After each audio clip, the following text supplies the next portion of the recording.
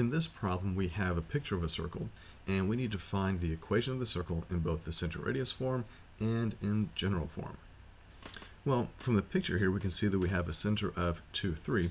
So when we're talking about writing this in center radius form, let's, let's do this underneath. We already have the center. So my center is 2, 3. So that means it's going to look like x minus 2. Remember how we talked about doing the opposite of that? So that's going to be x minus 2 squared plus y minus 3 squared. But it's supposed to equal the square of our radius. Well, we've got to find the radius. If you look at the picture, you can see that the distance here, from here to here, is going to be, looks like 6 units, right? As we go from a y value of negative 3 to a y value of 3, that's a change of 6. Uh, let's look at this point here just to make sure. So if I go from here to here, what's that change? And you can count the spots if you want to, count the, the units.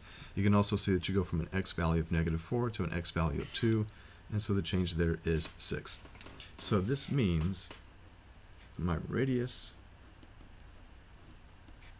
is equal to 6, which means for my center radius form, this is r squared, and that's going to be 36. So that's the equation for your circle in center radius form that's going to be this guy. Now we've got to put this in general form. So general form is really nothing all that major. It just requires you to expand all of this stuff out.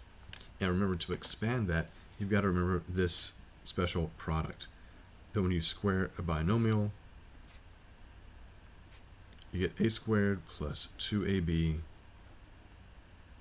plus b squared. If you don't want to remember the formula, you can take the long route and do two sets of parentheses and FOIL it out. But I'm not going to do that because I know my special products. Which means when I square this out, I get x squared. The product of 2 times a times b, sometimes we like to see it like this. If I multiply these together, I get negative 2x. And if I multiply that times 2, I get negative 4x. Square of the b, so that's plus 4. And I do the same thing for the y. So squaring this, I get y squared. The product of these two pieces is negative 3y. Times 2 is negative 6y.